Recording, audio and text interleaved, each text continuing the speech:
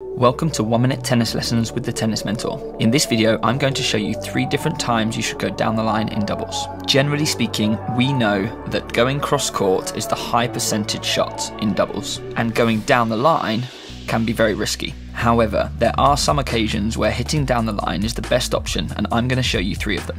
The first situation is if you get pulled out wide there's going to be a much better opportunity to pass your opponent down the line as there's going to be a bigger space. The second situation is if you receive a short ball and have the opportunity to shift your position forwards. If you hit an attacking shot down the line from here, your opponent at the net is going to have much less time making for a much tougher volley. And the third situation is if your volleying opponent shifts their position towards the center of the court, then you're going to have a much bigger gap to hit your shot down the line. Be sure to give these tips a go and consider subscribing to the channel if you'd like to see more of these one minute tennis lessons.